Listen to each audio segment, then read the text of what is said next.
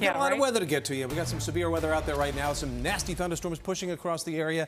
You can see the ceiling lowered. We had some strong wind gusts ahead of the push of rain, and that's been the case where there were some tree limbs down in some locations. We've had some localized flooding problems. So let's get to it. Live radar lit up from again mid and upper Hudson Valley through the city down into portions of New Jersey.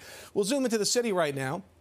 And again, until about uh, 4:15, which means just about ended, we did have a severe thunderstorm warning that's in effect, but we now have a flash flood warning in effect until 6:15. That's for Brooklyn, Nassau, Manhattan, and Queens as well, because of these heavy downpours flooding the roadways. Moving off at about 25 miles an hour to the north and east might be a little bit of a saving grace, so the flooding hopefully won't be too bad. Further south we go though into New Jersey. Still seeing a lot of lightning here. That's why you got to stay indoors. One strike of lightning can be dangerous. Severe thunderstorm warning until 4:30. Monmouth and Ocean County. So if you're along the Garden State, Route 9, those areas, and up along the Jersey Shore, if you can get off the road for a little bit and let this pass through, and it will in about 15 minutes to a half hour, things will improve. Number of lightning strikes about 104 in the last few minutes, so that gives an indication of just how much activity there is coming out of those particular cells. Now, closer to home, Notice the heaviest line right there. It's east of the city already. We're kind of on the, the back edge of this area of nasty weather, lighter rain now.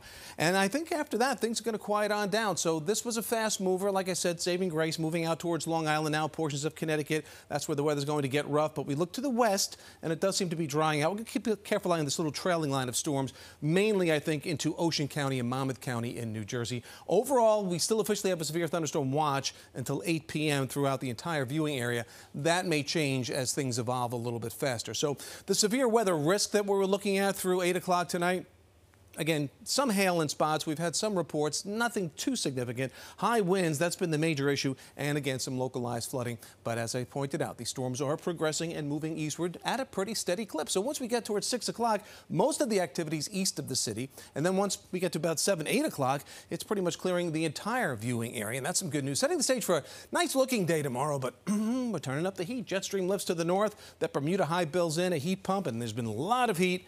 It's been making headlines out to the west. That's going to push in our direction as we go into the rest of the week. So the heat index, what it's going to feel like tomorrow, low 90s. 100 or higher is what it's going to feel like Thursday and Friday, upper 90s on Saturday. Actual air temperatures, that's going to be painful enough. So once we get past the storms in the next couple of hours, tomorrow just hazy and muggy, close to 90, 93 Thursday, 96 Friday, low 90 Saturday. Watch for storms late.